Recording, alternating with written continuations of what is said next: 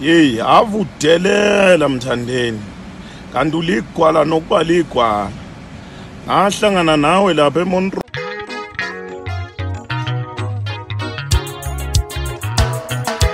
Thokozela indaba eshisayo noma isimo simanzonzo sanibekela phezulu namukelo kwesimanzonzo lethela khona iy'ndawo zamaskandi ihambe phambili niyifika ngesikhathi. Ngaphambi kokuthi ngihlale kuzo iy'ndawo zamaskandi angiqale ngixolise ngeminye imisindo ezolokhu yizwa lapha kwi-background. Ngisemakhaya-ke manje ubaba ufuyile ziningi la khona iy'komo ney'mbuzi ney'mbongolo ney'kukhu manje izona nizolokhu uzizwa lapha kwi-background. Kodwa-ke ngihlale kuzo-ke iy'ndawo zamaskandi enguphathele zona uzoqala zokuthi ukhuzani usola ungizwe ngokuphuma ngokuphuma ngesamagundane ngesikhathi u- ukhuzani esemcimbini uthe ukhuzani ubeyophefoma yena ebhalitho umcimbi u-mc uphethwe uye umfokamchunu uthe kodwa kumxakile ukuthi ngesikhathi esephefoma kube sekubuzakala ukuthi muphi ungizwe ngumuphi ungizwe njengoba besengabonakali khona emcimbini kodwa bewuyena bephethe umcimbi. Ubesesho ukuthi ngempela akotshenakala uyena ungizwe ukuthi awukokhuleka ngaphakathi uma kufika yena ukhuzani ngoba naye usuke ezophefoma kuphela. Uthi awokhululeke eqhubeke aphathe umcimbi. Mbukele emakhaya uma ubheka wena yini le eyenza ukuthi eh ungizwe mfamchunu abaleke uma ukuthi kuzophefoma ukhuzani estage Uyadilimusa nje. Sikuphi ngezi? Uyadilimusa nje. Sikuphi ngezi? Ungumsele. Ah, wazi msele, wazi msele. Uyadilimusa nje.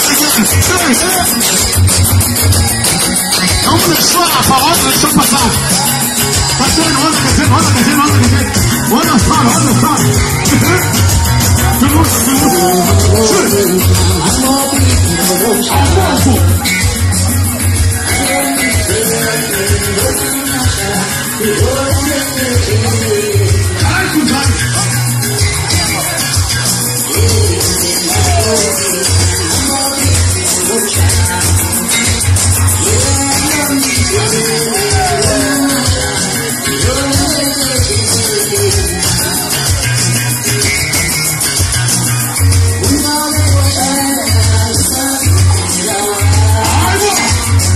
kanti futhi ezinye indaba enguphathe zona ezokuthi ubig zulu uthi igcokama liyamsaba. Emva kokuthi kube khona ukungazwani phakathi kwakhe igcokama nobig zulu. Lokho kuholela ukuthi ubig zulu um negcwama kuze kwaziwa ngempela ukuthi abasahoshelani um le ndaba yaqala ngokuthi-ke u- ubig zulu waba nesifiso sokuthi um ahlanganise ukhuzani naye u- igcokama engomeni eyodwa. I- igcokama lapho kumele obala ukuthi leyo nto leyo ngeke lingene yona leyo nto leyo into engeke yenzeka ukuthi bona nokhuzane bebe sengomeni eyodwa. Kube sekuqhubeka lapho-ke kwaba khona futhi ingxabano phakathi kwakhe futhi ubig zulu negcoma elisha lapho kwaholela ukuthi ngempela beze bethukane. Zokhumuleka ukuthi engomeni yabo futhi engomeni kagcoma elisha libe seligadla kubig zulu limbiza ngopapa pheli limbiza njengomuntu etshetshe iy'tayela zabo.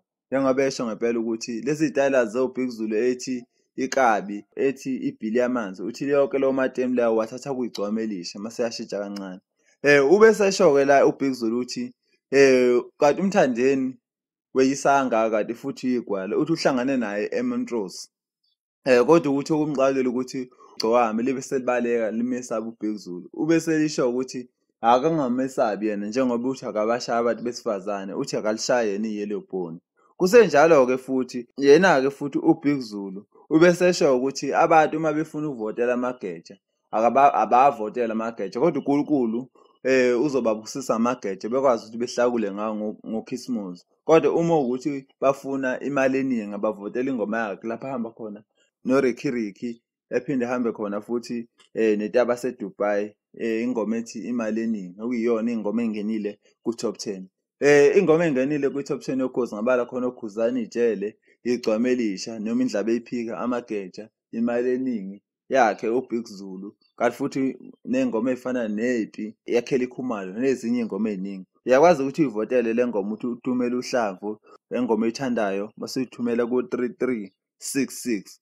five uzobe usukwazi ukuthi ivotele kubuya-ke i-S_M_S uma ukade uqeda ukuvota kuleyo namba leyo. Asivoteni kakhulu azimabhinca siphushe iy'ngoma ey'mbili. Zakhuzani. Lapho SMS khona uhlamvu H ku 33665 kanti uhlamvu uthi ingoma F233665 uma uzovotela indaba ephika amageja. Sibaphusheni-ke mabhinqa sikwazi ukuthi unyaka siwuhlukanise um ngengoma yamaskandi. Um akuyibuke-ke le video yakhe uBig Zulu la um echaza khona kabanzi ngegcokama yeyi avudelela mthandeni. Kanti uligwala nokuba ligwala. Ngahlangana nawe lapha emontrose wabaleka wabaleka. Kanti wemngane wami ungabe ngibalekela angibathinti abantu besifazane ngezami izandla ngumshaya umuntu wesifazane ngezami izandla mina. Ngathi wanje kodwa sengishaye iyelo bhoni labantu ngempama ungabe ubaleka mngane wami angibashaya abafazi mina. Mangabe ufisa ukuvotela amageja avotela amageja uNkulunkulu uyokunikeza amageja uhlakule ngoDisemba. Kodwa mangabe ufisa ukuba nemali eningi uvusa ikhaya udla inyama.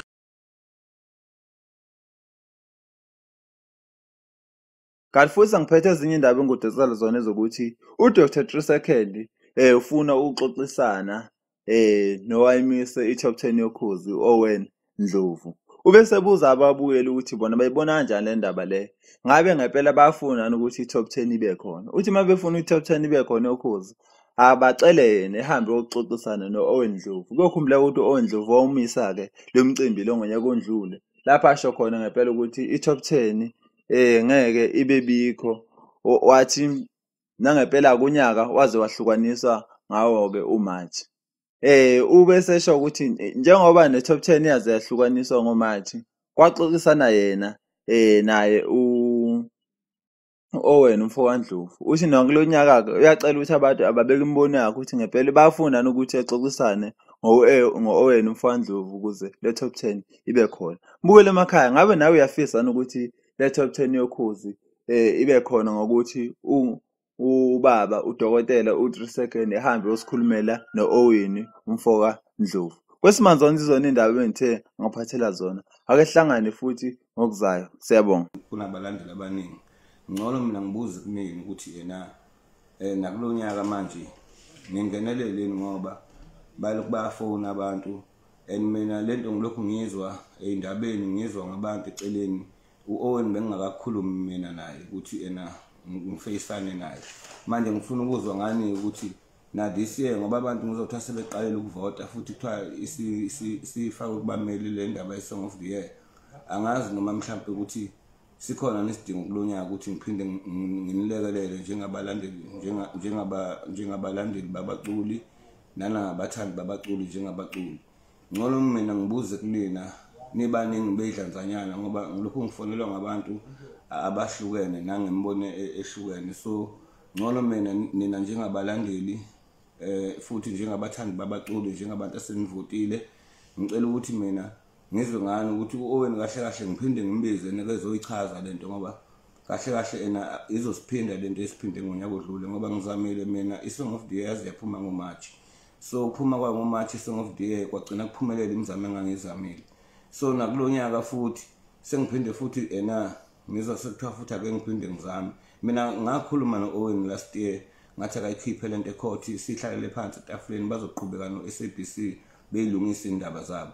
So na this year nami ngithukile mase kuthiwa i-song of the year sekuba ne-problem. Yingakho ngithi nina bekani uvulweni-ke ukuthi eh undlovu ngifeyisane naye noma eh, nakulo nyaka ke ngivele ngithule. Ngcono nina ke nikhulume nina njeng- njengabantu abavotayo nanokuthi ke lokho ngiyoba ngikukhuluma namhlanje kuleli page ngikukhulunyiswa zingcingo nange-pledge engiyifakelwa yinina ngifuna ukwazi kini-ke manje ukuthi-ke eh undlovu ngikwazi ukubhekana naye noma undlovu ngimiyeke aqhubeke nokuthi ayivale ngoba ngilokhu ngizwa kuthiwa into yakhe le eyakubo kahle kahle ye-owen production. So angikwazi ukuthi-ke ngivele ngingene nje ngingaziwanga ngani. Yilokho bengifuna ukukubuza. Nginithanda nonke ngithi inkosi nibusise ngiyanithanda nje nginifisele namaholide amahle ka-christmas.